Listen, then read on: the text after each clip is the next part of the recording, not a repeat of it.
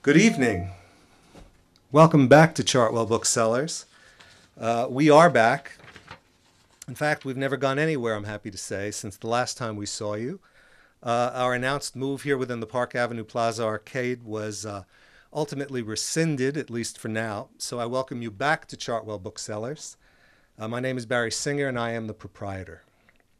In all of our 33 years of existence, we have never celebrated Clementine Churchill's birthday, I'm sorry to say. Uh, it falls on April 1, and we are celebrating it early tonight with Sonia Purnell. Happy birthday, Clementine. Sonia Purnell uh, is a very accomplished journalist uh, who be- began her career at The Economist and has written for most of the major newspapers left in England, it would appear, including the Daily Telegraph, Daily Mail, Independent on Sunday, and the London Evening Standard. It was during her time writing for the Telegraph in the early 1990s that Sonia first met and worked with Boris Johnson, uh, today the mayor of London and an old friend of ours here. Uh, two years ago or so, he was here to speak about uh, his book about Winston Churchill, The Churchill Factor, uh, and we had a wonderful time with him. Uh, he became the subject of Sonia's celebrated first book, Just Boris. Sonia has now turned her attention to Clementine Churchill with a book that we are, are all very grateful for. Uh, it is quite an extraordinary achievement uh, in the field of Churchill scholarship, and uh, as a way of reviving um, attention uh, on Clementine that uh, she's most deserving of. I look forward to everything that Sonia has to say on this subject. Uh, it's my pleasure to introduce to you Sonia Purnell. Thank you very much, Barry. It's, it's wonderful to be here. Um, it's lovely to be in this fine bookshop with all these books about Winston Churchill, dozens, hundreds, possibly thousands. And I'm particularly pleased now to see that there's a book so prominent about Clementine because I, I do feel that she has been rather overlooked. And I was struck when I was researching. I spent you know a long time researching my book, and I was struck when I was reading all the books about Winston, how many of them actually skirted over Clementine, barely mentioned her. Some of them didn't mention her at all. And yet, after years of looking into everything she did, reading diaries and letters and personal accounts, meeting people who knew her, I discovered that she was very, very important indeed not just to Churchill himself, but to all of us, to, to, to the world and to world peace. And sure, there has been one other book about Clementine by Mary Soames, of course, her daughter, but that came out nearly 40 years ago now and was uh, a wonderful book, but also conspicuous in, in some of the gaps it left. All of us, I think, as sons and daughters, would perhaps leave things out about our parents if we were writing about them, but also time gives you a fresh perspective. We look at things differently now to the way that we looked at them 40 years ago. More has more materials come to light. More people have come out to to to talk about um, Clementine. So as I say, the more I looked into her, the more I realised that this woman was not only important to Winston, she was important to all of us. She's one of the most significant, the most important forgotten figures of history and on several occasions, having nothing better to do, I've, I've asked as a straw poll of people, I've picked up a picture of her on her own without Winston, and I've said, Do you know who this woman is? People of many ages, different nationalities. And um, I'm up to about 21 people now I've asked this. Only one got close. and But uh, she thought um, that this woman might be Churchill's mother. She didn't guess it was Churchill's wife, but she realised that there was something Churchillian about her and as indeed there were there was very much. So when I pulled together these archives, I realised that there was a great deal out there that had simply been lost, forgotten about, ignored. I found tapes that had been made by um, interpreters when she went to see Stalin in the Kremlin on her own on, in 1945, an extraordinary event in itself. She had a wonderful interpreter called Hugh Lunghi, now no longer with us, sadly, but um, someone had the foresight to tape an interview with him some time before he died about this extraordinary event. And that interview was taped and then ignored. Um, no one had ever actually bothered to listen to it. And yet there it was, a description of this wonderful wonderful, that's not the right word, this extraordinary historic meeting with Stalin on her own in Stalin's study at the Kremlin with just Molotov and Hugh Lunghi for company. Well, I don't think many people have a, a story like that to tell, but that story had disappeared into history until I managed to find Hugh Lunghi's tape.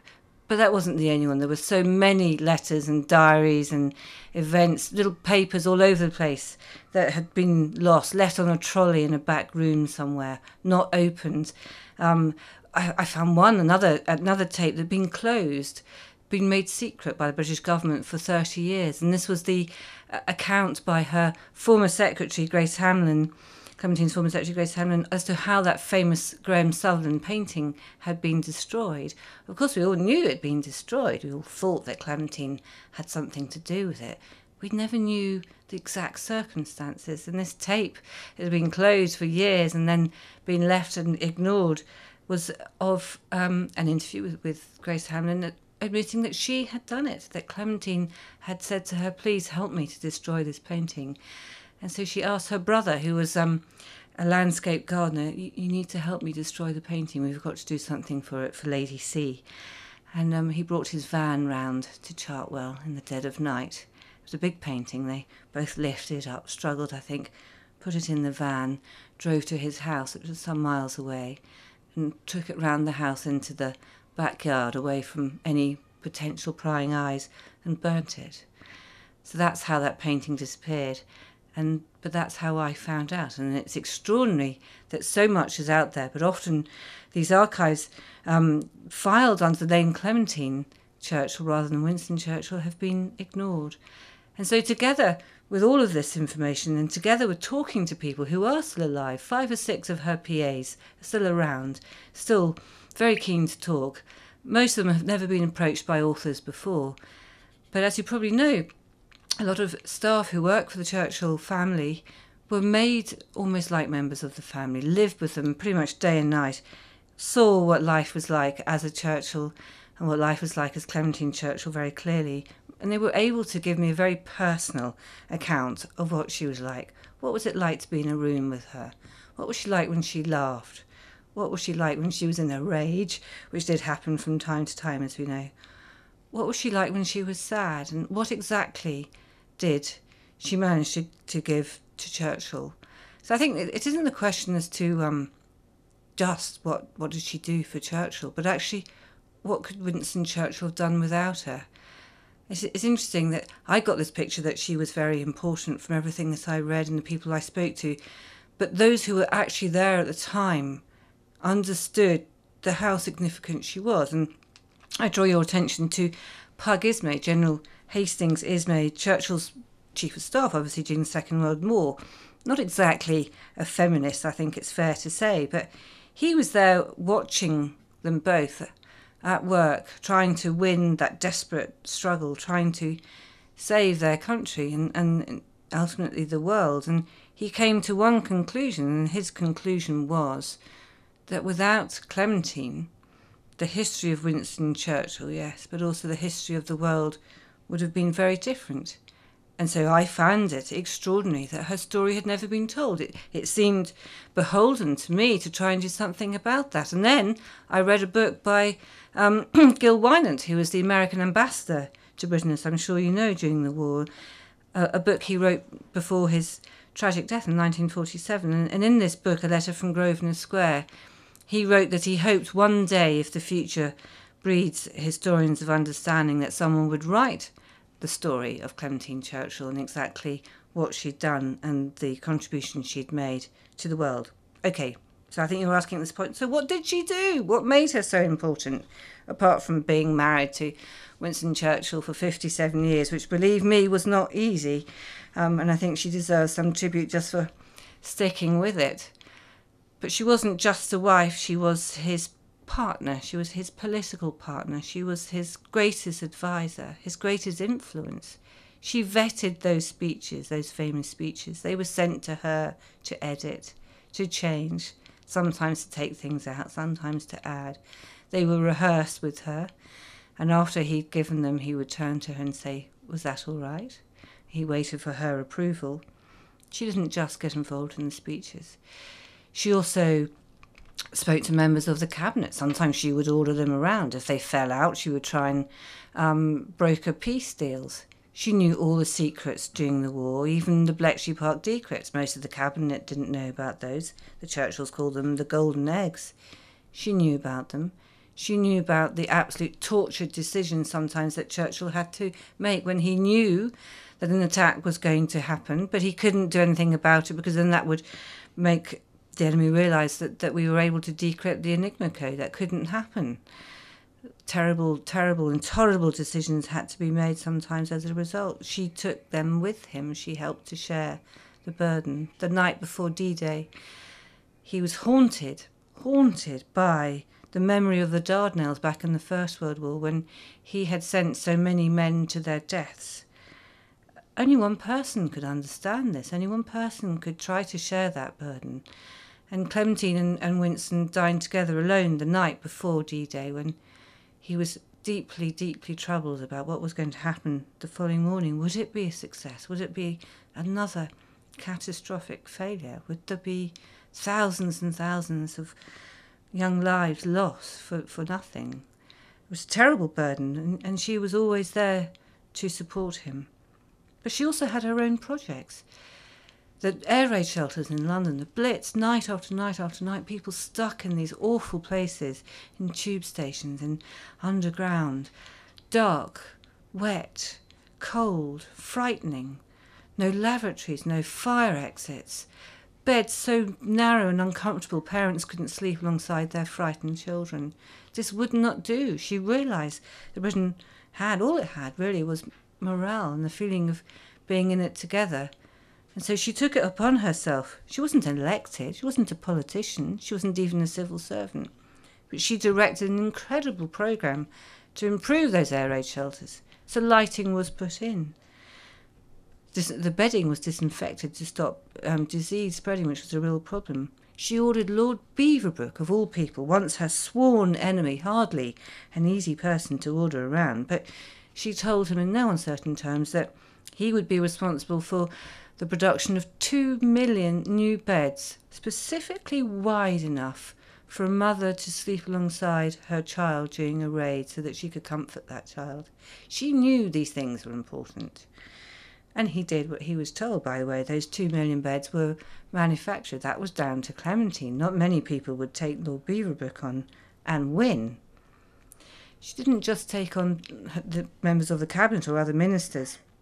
She was also extraordinarily brave with world leaders. She'd been a fearful, tearful child, but she stood up to FDR. Everyone else, might by and large, fell for his charms. Clearly, extremely charming man. She sometimes would take him on when she thought he wasn't being straight with Winston. She often told Winston to be careful with FDR, to be slightly more wary, to be less emotionally transparent, all the while, while of course keeping that vital Anglo American alliance going.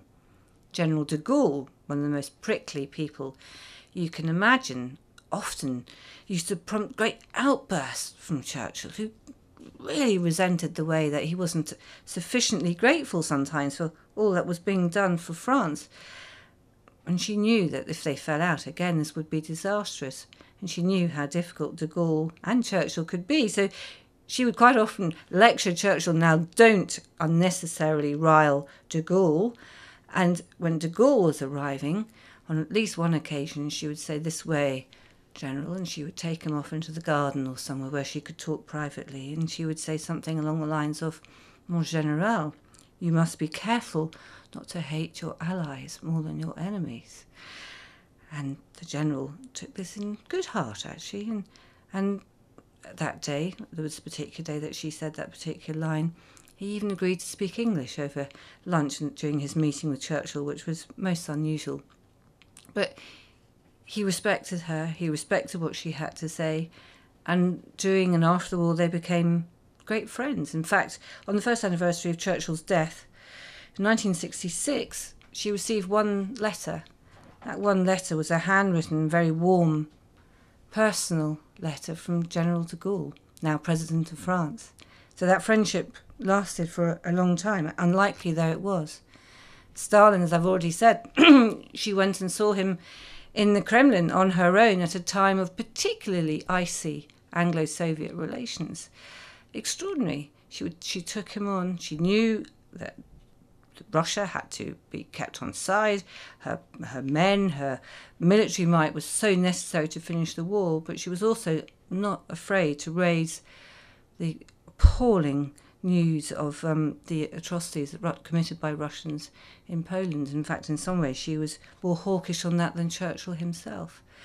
So she was a power broker. She was an ambassador extraordinaire. She vetted those speeches. She counselled him on his conferences with Stalin and Roosevelt. She was dealing with the cabinet. When Churchill was away, she was almost like a deputy prime minister. She would keep him informed of what was going on at home. She would keep the cabinet in order as much as she could. And she would um, be looking at any sort of political issues that might be coming up that needed to be dealt with she was a, a woman of many, many parts. And you consider how extraordinary that was. Britain doesn't have a first lady. There is no office. There are no staff. There is no rule book.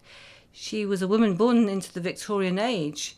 She couldn't vote until she was well into her 30s. And yet she managed to have a role during a war that was extraordinary in its importance and breadth of scope, and has really no one has ever matched it subsequently. She invented that role from scratch.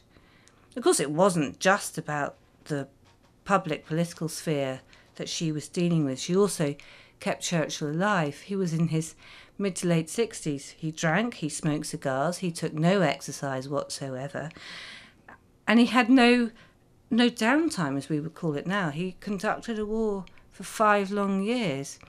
He kept a country going that really should have fallen. He gave the Brits self belief when they had nothing else. It was an intolerable burden. It would have killed practically anyone. The burden was huge, and yet she managed to keep him going. She looked after him. She cheered him up when he was down.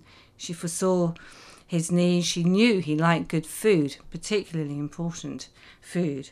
She made sure that even in wartime, all that rationing that what was offered on the Churchill table was of the highest quality.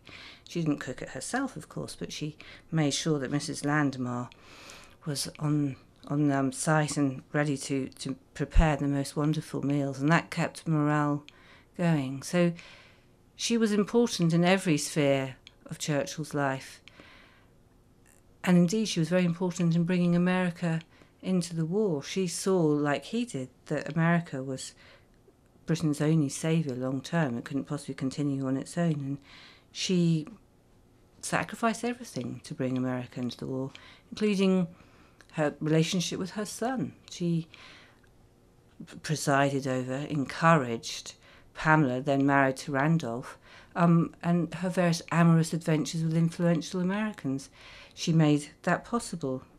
Some people find that very shocking in the current day, looking back at at that, perhaps it is shocking, but she understood how necessary it was to save her country, and she would do anything for her husband and his huge drive and desire to win the war.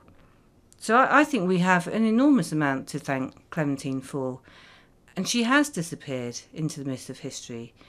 No one really knows much about her anymore, and I think that's a great sadness, and it's also actually doesn't give us an accurate portrayal of history and of what life was like for Churchill and where he got his emotional sustenance from. After all, it's Stalin who said he could think of no other instance in history where the future of the world depended on the courage of one man. And I think that's a very fair assessment. But where did that one man get his courage and his resolve from? Another source. Let's go to Lord Moran, Churchill's personal physician, who said that he observed that Churchill drew his resolve from Clementine. So yes, Churchill carried us as a nation, carried us, uh, you know, globally, but she carried him as a man, and she was incredibly important for that reason. And I think at this point we should perhaps consult the sort of ultimate source on this subject and find out what Churchill himself thought. And even though in his six volume um, account of the Second World War. If you take volume two, for instance, she appears in the index only once as Churchill misses. So perhaps to the world, he didn't quite admit just how important she was. But to her, he did. On the uh, 40th anniversary of their wedding, so this is September 1948, they were on holiday in the south of France, and they always had separate bedrooms. She had to have somewhere to retreat from this incredible, huge personality. That was always her domain, and he always had to seek permission to enter her bedroom all through their marriage, ever since they got back from their honeymoon. Anyway, that morning, um, he put a little note under her door, um, and he he thanked her for all the happiness she'd given him in what he described as a world of accident and storm. But he also said that how she had made his life and all the work that she had done, all the work that he had done in his life possible. So he knew just how important she had been. And I suppose I wrote the book to try and explain to an audience today, so few people do know about her, just how much we owe her, just as he owed her so much, and how her story was one of being a, a very timid child one who was terrified of the man she thought was her father but wasn't her father. She had a rather rackety aristocratic background, rather impoverished and constantly moving house to escape her uh, creditors and so on. But she transformed herself from that fearful child into a woman who was afraid of, of no one, no world leader, no situation. And that story, the more I found out about it, the more incredible it was. And so I'm, I'm, very pleased to be able to see the book here today, see how she's finally going to be given some of the credit she deserves. And I very much encourage you all to find out more about her. Thank you very much indeed.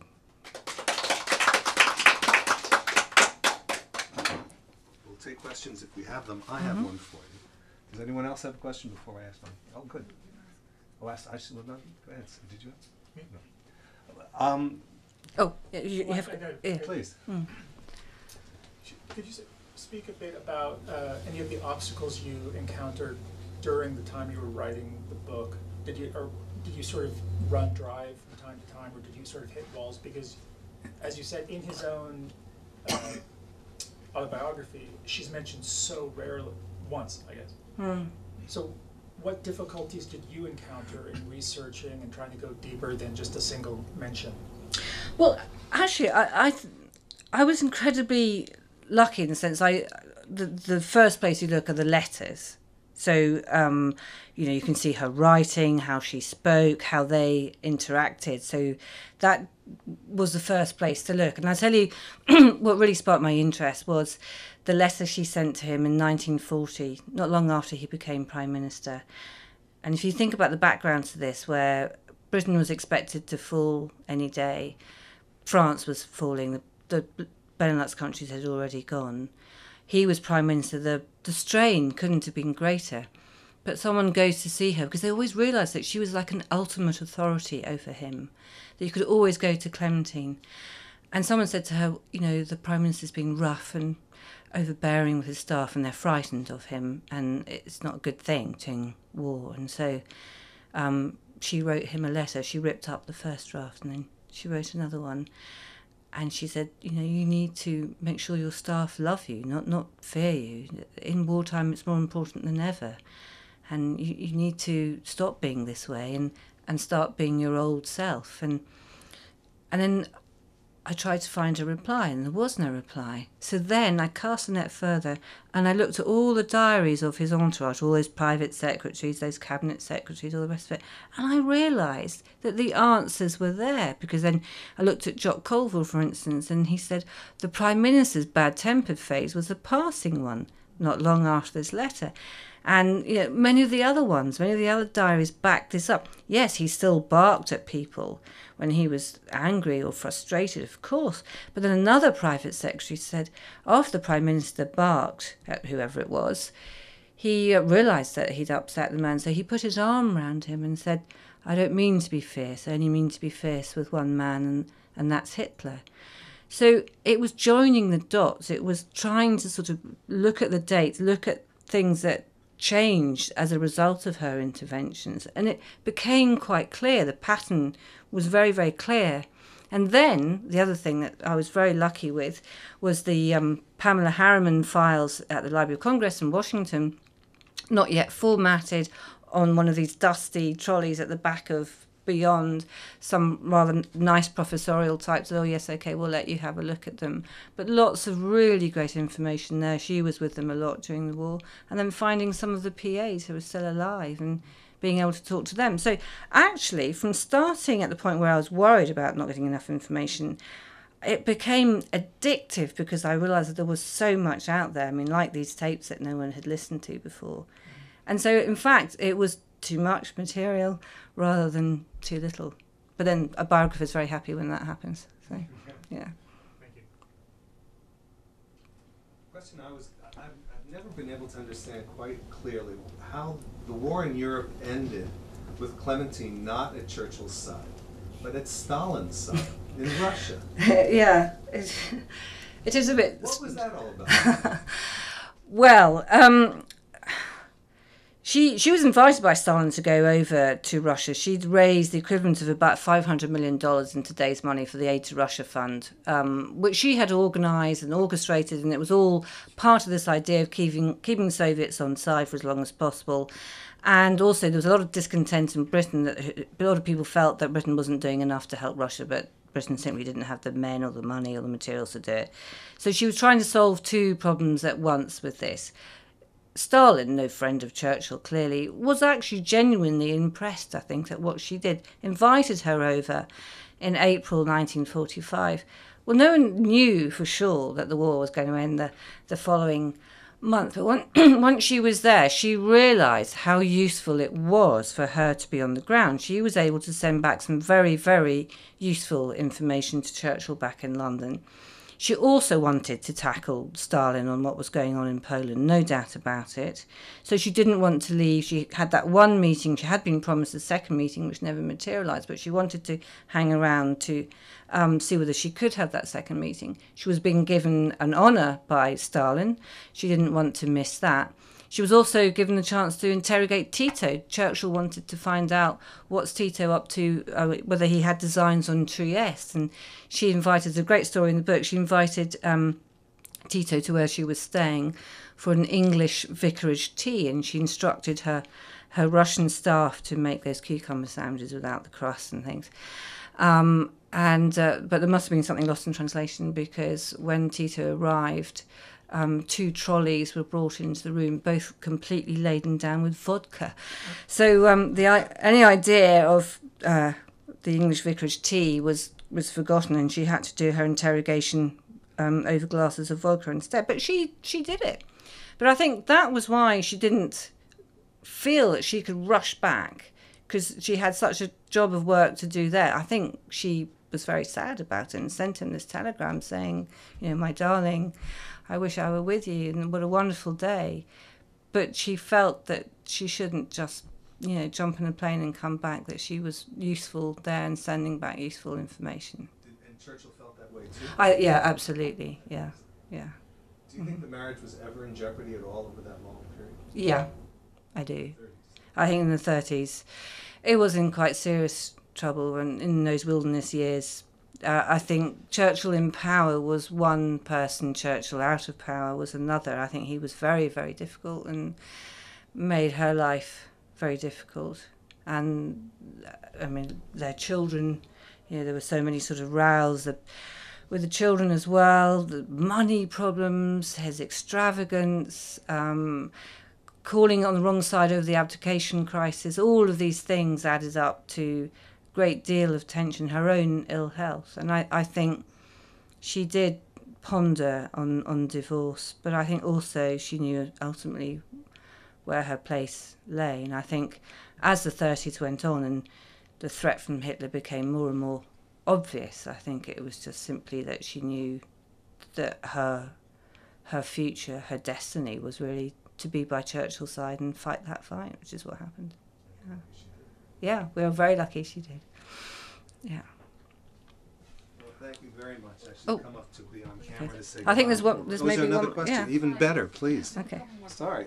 I was just gonna um, ask you mentioned Clementine being warning Churchill to be wary of Roosevelt, but I wanted to know if you would comment on her relationship with Eleanor and what that really. Well, what um, number they were knocked heads to. Well, I, I think that's a really interesting um, relationship, and again, had never been explored. I mean, I was very lucky to meet some of the members of the Roosevelt family when I was researching the book, and they said, "Well, you know, wow, no one's ever looked at this before. Fantastic, we want to know about it." And so, I went into the library up in Hyde Park and looked at some of their letters there, and, and looked at some of the photographs, and um, you know, some of Eleanor Roosevelt's diaries, especially of her trip to London. And I realised that those two women, although they, they seemed very different initially, had so much in common, not least being married to the men tasked with saving the world. And and they came together and did things together when the cracks appeared, as they did in, in the relationship between FDR and Churchill. And I think they tried to make up for any sort of fault lines there.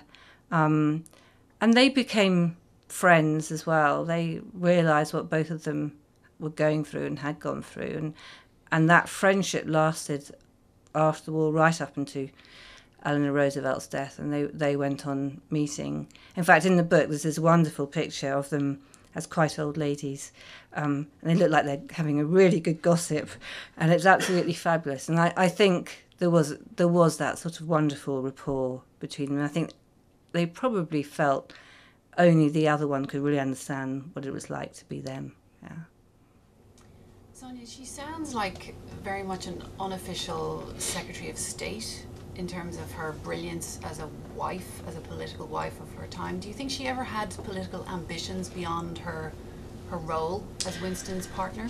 Um, I think had she been born in a different time, maybe now, um, you know, she she would certainly be in politics um, of her own back, and you know, perhaps who knows, she might have become a prime minister. Um, she knew that the age that she lived in made that impossible. I mean, she once said, "Oh, if only I'd been born with trousers, pants." Rather than petticoats, who knows? You know, I would have, would have been like to have been a statesman myself. And sometimes she would give advice to Churchill. She'd she'd start her little note to him saying, "If I were doing it," and then finally, um, Harold Wilson, a Labour Prime Minister, made her a baroness in her own right, so a member of the House of Lords, so part of the legislature. But he chose to wait until Churchill died, so she didn't become a baroness until she was 80. And she was incredibly excited. Finally, she was going to go into Parliament because she was her, not because she was Mrs. Churchill or Lady Churchill. And the tragedy of it was, and she intended to get really involved, and she did get involved in the campaign to abolish capital punishment in Britain. But apart from that, she realised that her hearing had gone too much for her to follow and participate in the debate. It was too late. She was 80. And I think it's it is a tragedy that no one did that before that or it wasn't you know in some way wasn't found for her to enter politics properly it's a shame yeah What do you think she would make of the current political landscape in terms of the partners? Um, I'm thinking of particularly Mrs. Trump. Well i think i think she'd be more excited about what mrs clinton is doing. I think um, i like to think that if she was looking down on, on what was going on she'd be um, thinking well you know america might be about to have its first president and how a woman president how interesting that is. And i think also she might be a little disappointed at mrs trump's lack of involvement shall we say that um, although she understood that style, personal style, was very important in politics. She wore these turbans as a way of complimenting women who were working in the munitions factories who had to wear them. So she wore them every day as her kind of compliment, her tribute to them. So she understood that style was important, but she also thought there had to be substance. You had to say things, you had to do things. I think she might find some of the situation we have now a bit regressive and a bit disappointing.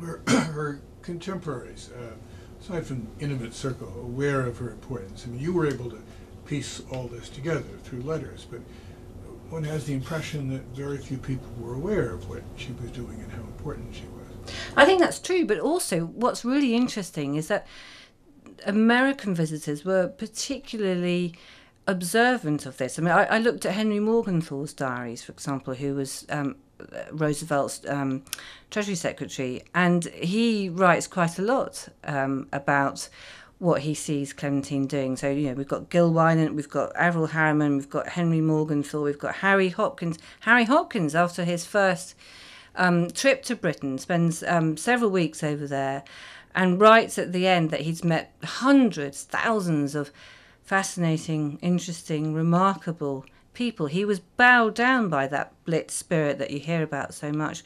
But of all of those thousands of people, including Churchill himself, the most fascinating, the most charming, the most wonderful was Mrs. Churchill.